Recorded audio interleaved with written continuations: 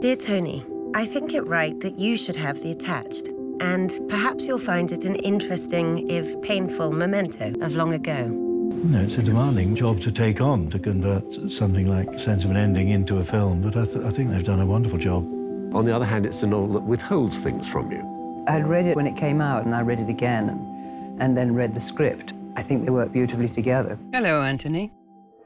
Have you any idea how unsettling it was for me after however many years it's been to receive a letter from your mother? I just loved the book and thought that it could work on screen, that there was something of a sort of thriller mechanism to this guy who's unraveling his past. I mean, here's Julian Barnes, a mature writer with worldly experience, but still open to very new experiences. You're on your own now.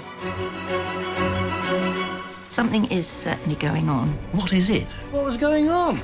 I hope the movie and the book can exist together as complements. It was an accident. I like the idea of, as long as you've handed it over, as I have in this case, to highly talented people, to letting them fly free with it. We may never know the truth.